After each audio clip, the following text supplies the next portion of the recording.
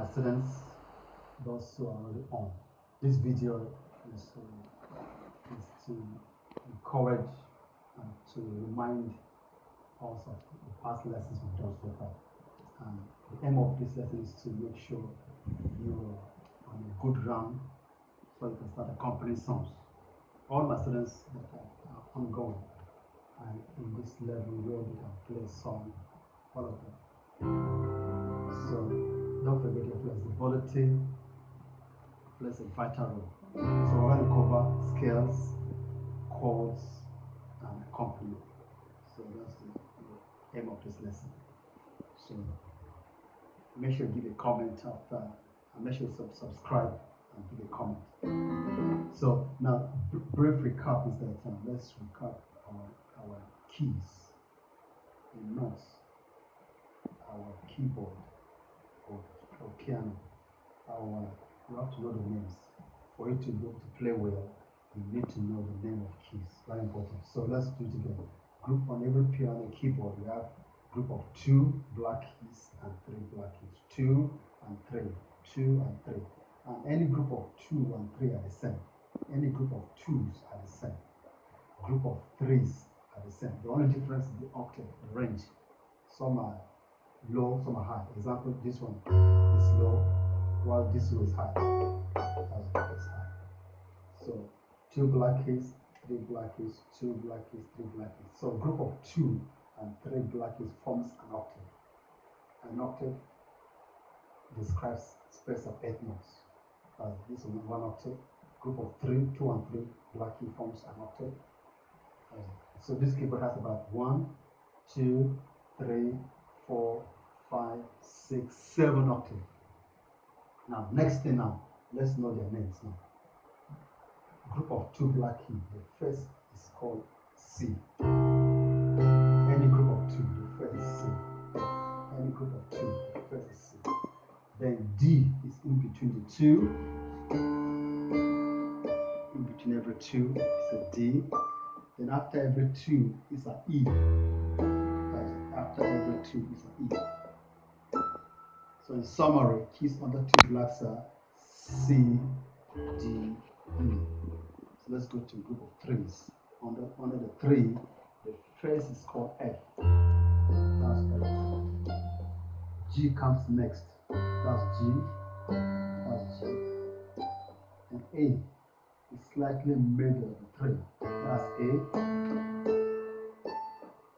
Then B is after every after three. That's B. So don't forget you can always rewind the video and master everything. So when I, so have it in mind that um, in music the first seven letters of English alphabets are used as keys, which are A, B, C, D, E, F, G. So we can have our A. This A now. Let's recap. So A on the group of three. B comes next to F. B comes next, sorry. B comes next to A. This A. That's B. That's C before the two. D in between the two. E after the two. F for the three. G back to A. So it's been repeated. So after G, back to A again. That's it. Then one other thing is that um, playing scales is a formula that enables you play. That's the formula. That formula is tone. Tone made of two semitone, Two semi gives you a tone. Two halves gives you one. Two halves. This from here to here is half step movement. From here to here is half step. So any note you are when it when it does jump, it's called a half movement. But when it skip to the next, it's called a tone. So this is C, that's semitone, semitone. These are semitone semitone. But the tone is anywhere you are. When you jump anyone to the That's a tone. Tone again. Tone, you're jumping. Tone, I'm jumping. Tone, I'm jumping. Doesn't matter the color. Tone, I'm jumping. So let's go, back to C. Scale of C. Tone, tone again. So the given degree you are, it's not tone yet, it's zero point. Zero point. The movement now begins now. That's half plus half, that's one. Half again, half again, that's two tones. The semitone, tone, tone, tone, semitone. So we have two tones, one semitone, two tone, three tones, semitone. So let's go to exercises now. Exercises. First one, one to five. We have A, B, C, D. First exercise, one to five. So place your hand as if you're holding an imaginary ball, touching the first five keys. Place your hand touching the face with the tip of the hands, fingers, not pressing. So first one, next one, so that timely. It's done with time. Music is time. Music is, is done in time. So that so keep the more you play, the more your fingers will get used to it until it. See?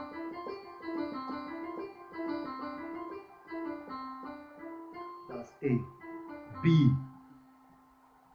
one to eight. So you go one, two, three. This finger goes under to play the fourth note. Then again three or five. One, two, three. One, two, three, four, five. Going back five. One, two, three, four, five. Then tallest finger. Three, two, one. Again. One, two, three. One, two, three, four, five.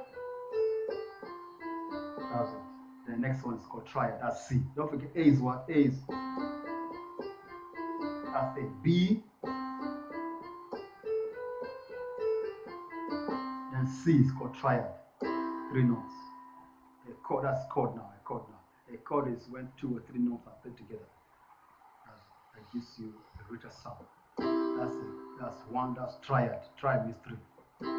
One, do, two, re, three, mi, four, five, six. Once you get to six, which is la, do, re, mi, fa, la. Then seven, you go back to what? Because seven is diminished chord. So you return back to five. That's seven. Because five and seven share the same note, share this seven note. So that's why it's correct. The eight. Back to seven, six, five, four, three, two, one. Again, one, two, three, four, five, six, seven, eight, seven, six, five, four, three, two, one. Left hand is uh, a bit different. But left hand is five notes. Same thing. One to five. First finger, second finger, third finger, fourth finger, fifth finger. So if I'm playing, this is the first note.